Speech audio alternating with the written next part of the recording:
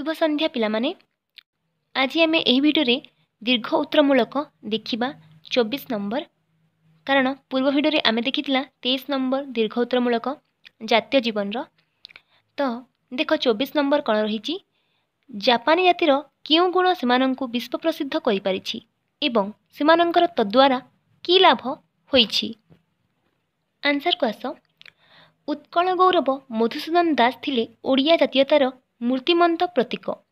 ତାଙ୍କୁ ଆଧୁନିକ ଓଡ଼ିଶାର ନବନିର୍ମାତା କୁହାଯାଉଥିଲା। ତାଙ୍କର ନେତୃତ୍ୱରେ ଉତ୍କଳ ସମ୍ମିଳନୀ ଗଠନ ହୋଇଥିଲା। ଏହି ଜାତୀୟ ଜୀବନ ପ୍ରବନ୍ଧଟି ଉତ୍କଳ ସମ୍ମିଳନୀର ଏକ ସଂକ୍ଷିପ୍ତ ରୂପ। ଏଠାରେ ପ୍ରାବନ୍ଧିକ ମଧୁସୂଦନ ଦାସ ସମସ୍ତଙ୍କ ଭିତରେ ଜାତୀୟତା ଭାବ ପ୍ରକାଶ ଓ ପ୍ରତିଷ୍ଠା କରିବା ପାଇଁ କହିଛନ୍ତି ଏଠାରେ ସେ ମଧ୍ୟ ଏହି ଜାତୀୟ ଭାବନା ଜାପାନୀଙ୍କୁ କିପରି ବିଶ୍ୱ ପ୍ରସିଦ୍ଧ କରିପାରିଛି ଓ ଏହାଦ୍ୱାରା ସେମାନଙ୍କର ଜୀବନରେ କେତେ ଉନ୍ନତି ହୋଇଛି ତାହା ପ୍ରାବନ୍ଧିକ ଏଠାରେ ବର୍ଣ୍ଣନା କରିଛନ୍ତି। ଜାପାନୀମାନଙ୍କର ଭାବନା ଶକ୍ତି ବେଶ୍ ଉଚ୍ଚତର ଅଟେ। ତାଙ୍କର ଜାତୀୟ ମୂଳମନ୍ତ୍ର ହେଉଛି ମୋର ପ୍ରାଣ ଯାଉ। ଲକ୍ଷେ ଜାପାନୀଙ୍କର ପ୍ରାଣ ଯାଉ କିନ୍ତୁ ଜାପାନ ଜାତିର ମାନବୃଦ୍ଧି ହେଉ ଏହି ଚିନ୍ତାଧାରା ରଖି ସେମାନେ ସବୁବେଳେ କାମ କରନ୍ତି। ସେମାନେ ତାଙ୍କର ଜାତୀୟତା ଭାବକୁ ନେଇ ଅଧିକ ଗର୍ବିତ। ଜାପାନୀମାନେ ତାଙ୍କ ବ୍ୟକ୍ତିଗତ ଚିନ୍ତାକୁ ନ ଦେଖି ପ୍ରଥମେ ଜାତୀୟତା ଚିନ୍ତା କରିଥାନ୍ତି। ସେଥିପାଇଁ ଆଜି ଜାପାନ ଏତେ ଉନ୍ନୀତ ଅଟେ।